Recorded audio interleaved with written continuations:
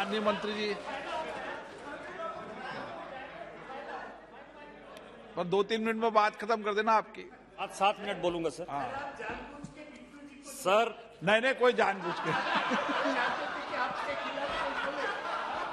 Sir मैं मतलब आप ये मानते हो कि मैं किसी भी सदस्य से कुछ भी बुला सकता हूँ क्या? आप ऐसे क्यों सोचते हो? मेरे लिए तो सब बराबर हैं। सर। सब समान है मेरे लिए तो। सर मैं इस देश के मज़बूत गृह मंत्री सरदार पटेल के बाद जिन्होंने अपनी मजबूती दिखाई, गृह मंत्री अमित शाह जी के नेतृत्व में आए हुए इस एमसीडी बिल के समर्थन में खड़ा हुआ। मैं आपके माध्यम से सदन को बताना चाहता हूँ कि मैं भारतीय जनता पार्टी का कार्यकर्ता हूँ और भारतीय जनता पार्टी के नेतृत्व में, माननीय प्रधानमंत्री जी के नेतृत्व में नीति भी है, नियत भी है और ऐसा नेतृत्व है जिसके कारण पूरे अपोजिशन को मैंने डरते हुए देखा है नहीं कोई नहीं डरता इस देश में इस देश में हम नहीं डरते। बिल्कुल नहीं डरते। कोई नहीं डरता। इस देश में इस देश में सर भूलने की बीमारी है। भूलने की बीमारी है। आप ये समझे सर कि लगातार मैंने सारे अपोजिशन के नेताओं को बैठो दानिश बैठो दानिश अरे बैठो ना। हम किसान के बेटे हैं हम नहीं डरते। बैठो। जो चोर होगा वो डरेगा हम नहीं डरते। सर इस देश में लगातार हुआ कि हम चुनाव से डर रहे हैं, चुनाव से डर रहे हैं। अभी बिट्टू जी कह रहे थे, आम आदमी पार्टी। मैं लगातार लेकर आया, सर, किससे डर रहे हैं? आप डर रहे होगे। आपको वो नेता अच्छा लगता होगा, क्योंकि कांग्रेस और कांग्रेस के साथ जो लोग हैं ना, उनका हमेशा से रहा है इतिहास, जो कि बिट्टू जी बोल रहे थे कि जो देश तोड़ने वाले तत्व हैं, जिनको किस देश की डेमोक्रेसी में विश्वास नहीं है जो अल्ट्रा लेफ्टिस्ट लोग हैं उनके साथ आपने समय समय पर समझौता किया है। यही देश का इतिहास है यही कांग्रेस और कांग्रेस के समर्थित पार्टी का इतिहास है। और मैं बताऊँ आपको अध्यक्ष महोदय कि जब मुस्लिम लीग की स्थापना हुई मैं बिल पर ही बोल रहा हूँ सर कि मैं क्यों लड़ूँगा? मैं क्यों डरूँगा? जिस पार्टी को अध्यक्ष महोदय point three eight percent vote मिलता है उसके उसके साथ भारतीय जनता पार्टी लड़ाई करना चाहेगी या उससे डर जाएगी? जिस दिन चुनाव होगा, उस दिन भारतीय जनता पार्टी का एक एक कार्यकर्ता लड़ने को तैयार है, लड़ाने को तैयार है और हम एमसीडी नहीं एमसीडी से पूरा लोकसभा भी जीत कर आएँगे। लेकिन भूलने की बीमारी है, सर। मैं आपको बताऊँ कि मैं जिस राज्य से आता हूँ, मैं जो बात कहना चाहता हूँ, सर, झारखंड राज्य से आता हूँ। यहाँ एमसीडी का चुनाव हुआ, भारतीय जनता पार्टी डर गई, चुनाव नहीं हो रहा है। मेरे यहाँ देवघर जहाँ से मैं आता हूँ, सर, डेढ़ साल से म्यूनिसिपल कॉरपोरेशन का चुनाव नहीं हो रहा है। डेढ़ साल से वहाँ का सीईओ उसको चला रहा है। आप मुझे अपनी नीति दिखाते हो, आप स्थिति दिखाते हो, आप म्यूनिसपैलिटी की बात करते हो, आप रिजर्वेशन की बात करते हो।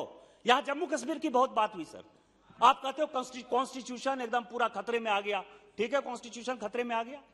जम्मू कश्मीर में जब 370 था, आपको शेड्यूल कास्ट याद ही नहीं आ रहा था। शेड्यूल ट्राइब याद नहीं आ रहा था, ओबीसी याद नहीं आ रहा था, वहाँ का जो लोकल बॉडी का इलेक्शन था, वो याद नहीं आ रहा था।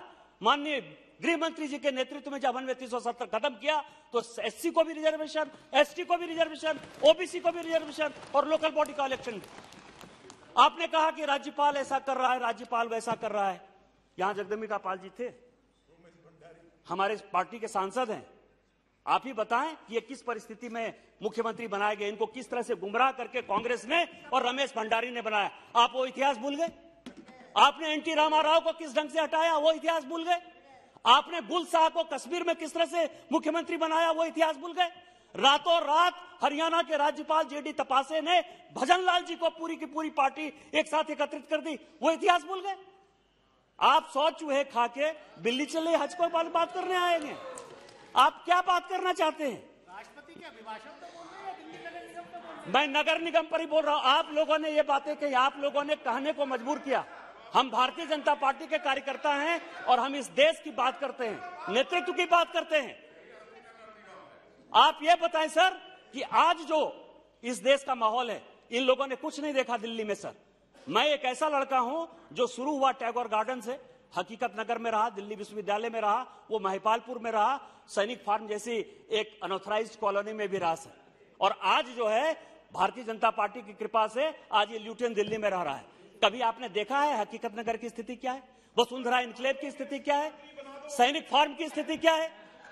आप लोगों ने देखा है, बिजली नहीं आती है, सड़क नहीं है, सीवर नहीं है। और आप जो है अल्ट्रा लेफ्टिस्ट पार्टी के नाम पर एक नोशन क्रिएट किए हुए हैं। मेरा आपके माध्यम से आग्रह है सर कि भारतीय जनता पार्टी किसी से नहीं डरती। किसी की परवाह नहीं करती। अपने दिल से पराए दिल का आपने गवर्नर के आधार पर हमारी सरकार को बर्खास्त किया था।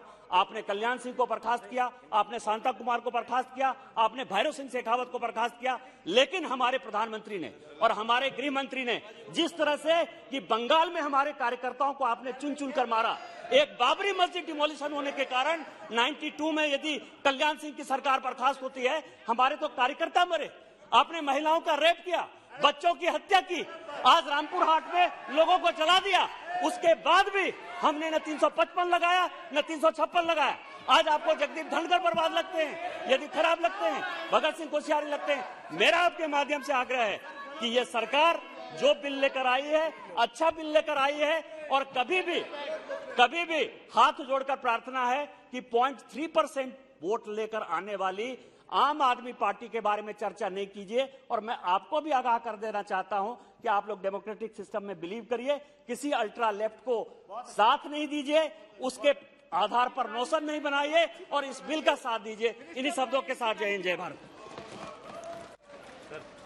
मुझे लगता है आपको समस्या है, माननीय गृह मंत्री